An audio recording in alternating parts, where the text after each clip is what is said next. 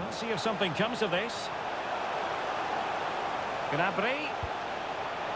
Marco Reus.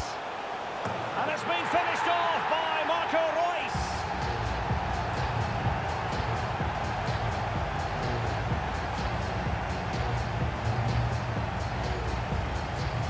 Well, it's lovely technique, as you can see. He just wraps his foot around the ball and bends it beyond the keeper. That's a good goal.